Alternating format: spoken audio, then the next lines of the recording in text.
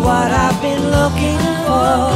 Now it's very clear to me we should be together.